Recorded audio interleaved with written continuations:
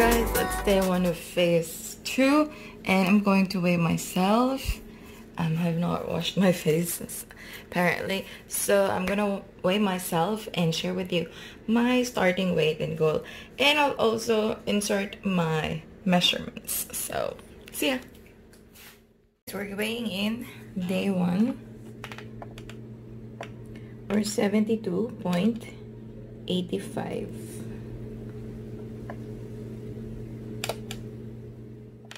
it's day one of phase one, I have to follow a strict 500 very low calorie meal, which is why I decided to order or purchase from Fitness Gourmet, pasensya na sa buhok ko ah, um, at least one or two weeks siguro or sana nga dapat one month para ma-make sure na control talaga yung portion ko. Although, yung food ko lang yung 500 um, calories kasi hindi ko kayang walang coffee and walang yung juice ko for my um for my basta may hormone something related yon so approximately 800 calories ako a day. Pero yung food intake 500 calories lang talaga. So I'll show you what I have for today for my lunch. A Salisbury fish steak and zucchini pasta. That's what I have or I will have for my lunch.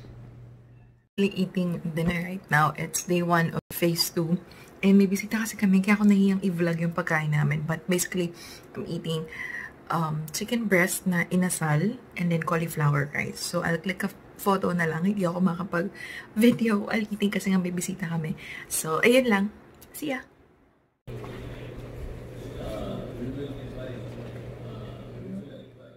of phase 2 and we are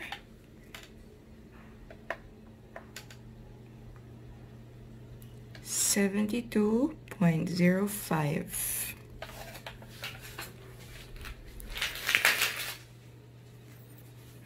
Guys, so that's day 2 of phase 2 and I'm 72.05. Day 2 of phase 2 and what I'm eating today is a beef something with bell pepper and onion and mushroom. Sobrang bango at parang ang sarap-sarap niya. And later on, beef ulit yung dinner ko. So, I'm so happy for today's meal. So, kakain muna ako. Again, this is day 2 of phase 2. Pa natin. Parang ang sarap-sarap ng mga pagkain ko ngayon. Ah. Mm, sarap Ang sarap. Tingnan lasa. Guys, so my dinner for today is chili con. Yeah, beef chili con with a whole bunch of cucumber. So that's our dinner for today. So day two of phase two and it's currently 10 p.m. and I'm having a fruit snack. I still have cucumbers kasi kanina yung ano ngayon? Chili con beef something. Hindi ko kinain yung ano cucumber. So, ayun. Pinatuan ko siya ng egg. Egg yung pinalit ko. So, yun. Second day. So, pag nagutom ako mamaya, meron pa akong cucumber. Alright. So, see you guys tomorrow. Bye! Hey guys, it's day 3 of phase 2. And I have not washed my face. I just peed, empty my bladder, and I'm now going to weigh in.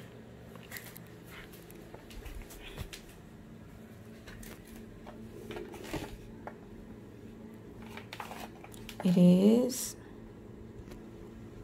71.55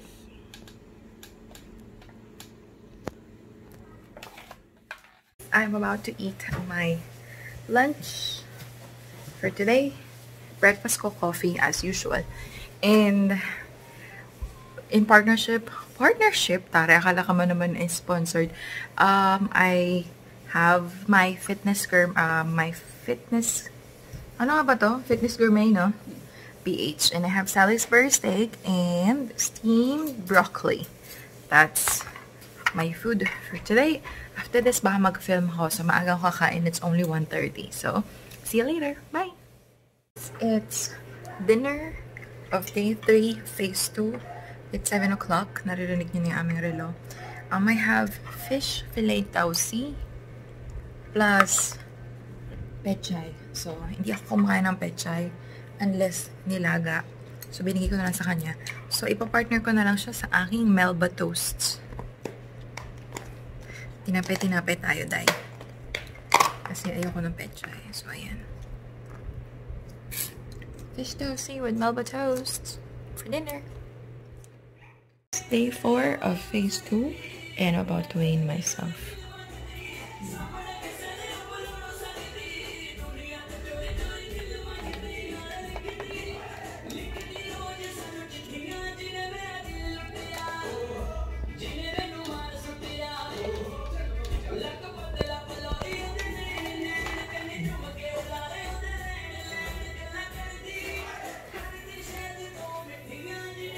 I'm 71.15. It's day 4 of phase 2 and this is my meal. Beef with sauteed vegetables.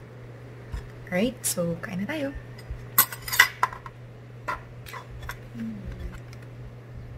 Tikman natin.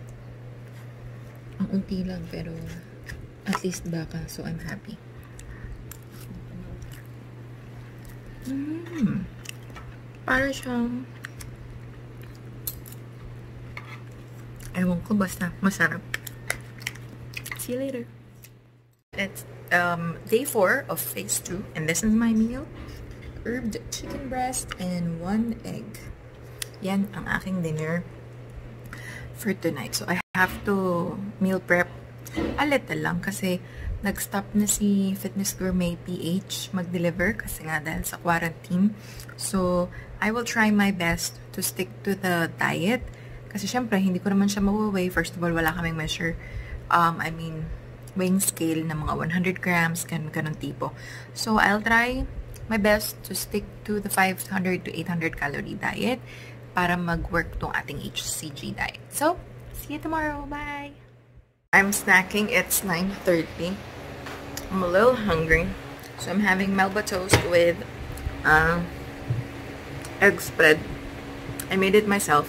It's just Japanese mayo, salt, pepper, and boiled eggs. I had four triangles. Snack kasi parang tumpang. So, ayun. Still day 4, phase 2. Bye!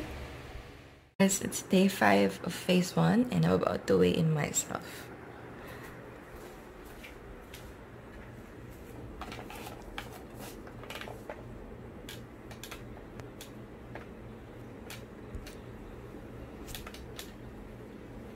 So I'm exactly 71 kilos. It's phase 2, day 5. And since wala tayong fitness gourmet, rice tayo. Rice, 1 cup of rice, and 3 pieces of beef for caldereta. This will be my only meal for today. Later, siguro, pucho-pucho lang, hindi siya proper meal. Kasi feeling ko nasa 350 calories na ito. Ito lang. Or baka nga 400 pa. So, yung natitira ko mamaya, siguro itlog na lang at tinapay. So, See you guys. Hey guys, it's 7.30. It's still day 5 of phase 2 and I'm having a cup of mixed nuts for snacks. Hey, it's day 5 of phase 2 and I'm only having cup noodles. I know this is 300 calories already, but that's what I'm feeling to eat right now. So, tara kain tayo. Hey, it's day 5 of phase 2 and I'm only having cup noodles. I know this is 300 calories already, but that's what I'm feeling to eat right now. So, tara kain tayo. Guys, it's day 6 of phase 2 and I'm very, very much afraid mag-weigh kasi kahapon, alam niyo naman, hindi talaga 500 calories yung kinain ko. Although, 800 calories naman talaga ako, but 300 yung liquid, including my coffee and my juice. Pero ngayon, natatakot ako baka hindi ako nabawasan ng timbang, baka mawala, mapunta sa wala lahat ng pinaghirapan ko. Pero sana kahit 0.1 lang or 0.1 lang mabawas, masaya na ako at hindi ako matidisappoint. So, let's go ahead and weigh in.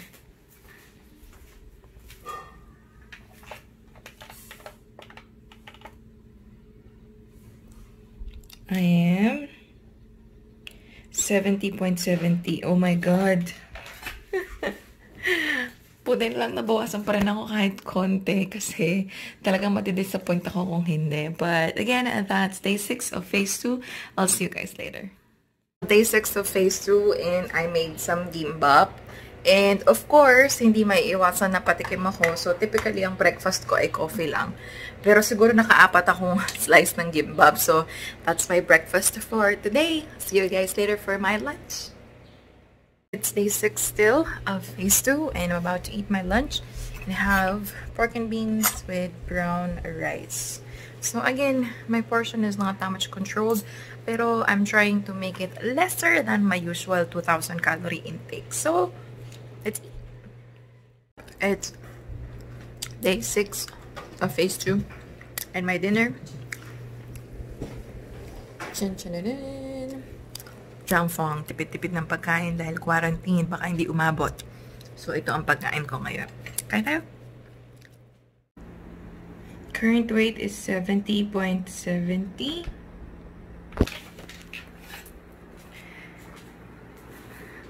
That is my weigh-in. Today is phase 2, day 7. So, very, very little lang talaga yung nabawas.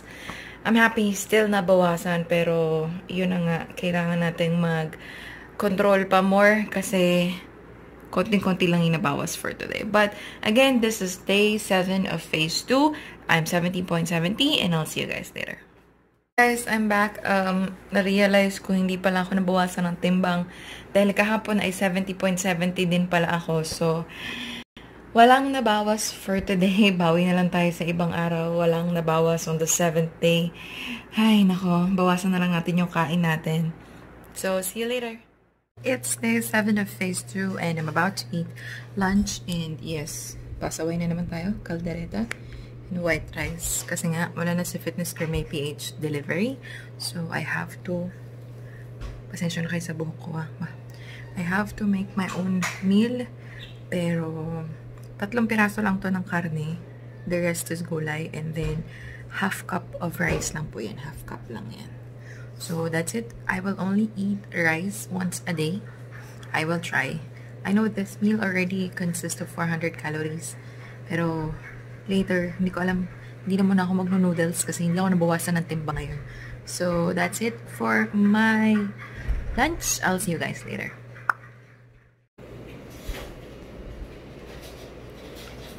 day 7 of phase 2. Yakisoba and egg sandwich.